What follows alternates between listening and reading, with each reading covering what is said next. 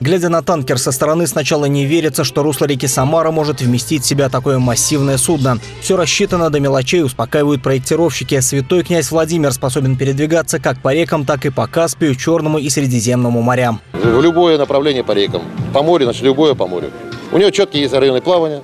Поэтому куда захочет заказчик, туда, скажем, и поплывет. Но это современное судно, разработанное МИБом, морское инженерное бюро. То есть судно, удовлетворяющее всем современнейшим требованиям по безопасности мореплавания и хождения по рекам. Танкер «Святой князь Владимир» – первое судно проекта РСТ-11. Его стоимость примерно 600 миллионов рублей. Танкер полностью собран в Самаре. Его вес порядка 2000 тонн при длине почти 132 метра. Примечательно то, что двигатель способен неделю работать без дозаправки и при этом доставить почти 7 тысяч тонн нефти или нефтепродуктов до места назначения. Тем самым мы сделаем наше предприятия Самарской области еще более конкурентоспособными.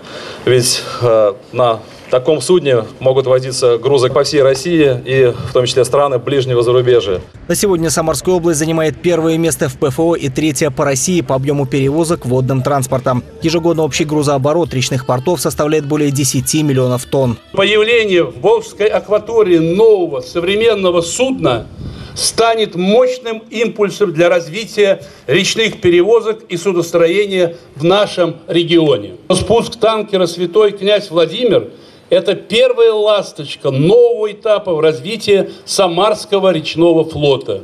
На торжественной церемонии спуска на воду танкера самарские судостроители получили почетные грамоты от губернатора. Слова благодарности прозвучали и от городских властей. Известно, что Куйбышевский район и жители Куйбышевского района – это в основном речники и судоводители. Поэтому еще раз поздравляем вас с этим знакомым событием.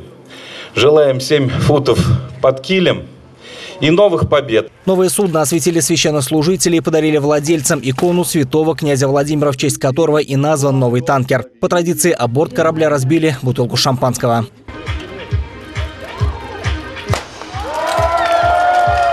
Гарантированный срок эксплуатации танкера 25 лет. В ближайшее время уже на воде будут произведены работы по укладке кабеля, труб и обшивки внутренних помещений. Примерно через 8 месяцев святой князь Владимир отправится в свой первый рейс. Павел Баймаков, Станислав Левин. События.